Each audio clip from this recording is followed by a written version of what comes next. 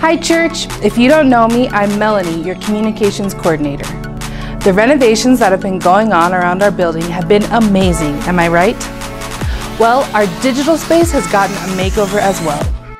Our new website, valleyviewcc.com, and our new community app are launching this Sunday, April 29th. Our website is the first place new guests go to find out about our church, so it's designed with our guests in mind. We want them to feel welcome and comfortable before they even walk in the doors.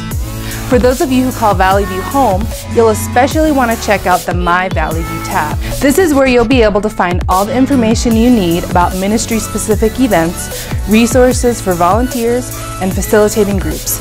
This is going to be your go-to place. You can download the Community app on your iOS or Android device. We are all excited for these changes and we're confident you'll find them easy and intuitive to use. I'll be available this Sunday at Connection Point to answer your questions and you can take a tour of the new website and app.